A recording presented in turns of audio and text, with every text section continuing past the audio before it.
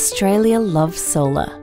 More than 2 million Australian households have solar panels and are enjoying saving money on their electricity bills. Yet there's plenty of people missing out. One in 10 Australians live in an apartment block, which means they can't install solar. Many small businesses in shopping centres and office buildings can't easily install solar either. Instead of leaving them out of the solar revolution, Allume Energy has invented a technology to let them join in. We call it the SolShare. The SolShare allows all residents and businesses in a single building to share one rooftop solar installation. So whether you leave home in the morning and don't come back until the evening, or stay home to look after the kids, or you're busy running your business six days a week, you will receive solar when it will save you the most money.